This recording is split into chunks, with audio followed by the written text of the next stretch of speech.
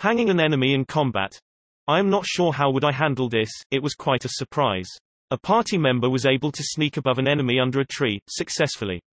Thorn whipped him under said tree from 20 feet height, with advantage, even past the additional roll of grabbing the enemy by the neck, and then jumped off the thorn whip, hanging over the branch, effectively yanking the enemy's neck I assume.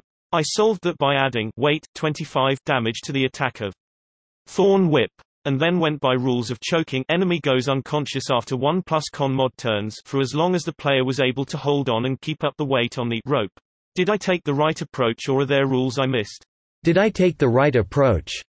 Absolutely. You are the DM and you described the results of the character's actions. Well done. Or are there rules I missed?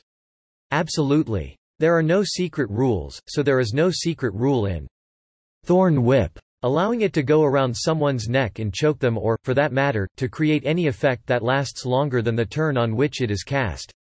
What Thorn Whip does is, if the attack hits, the creature takes 1d6 piercing damage, and if the creature is large or smaller, you pull the creature up to 10 feet closer to you.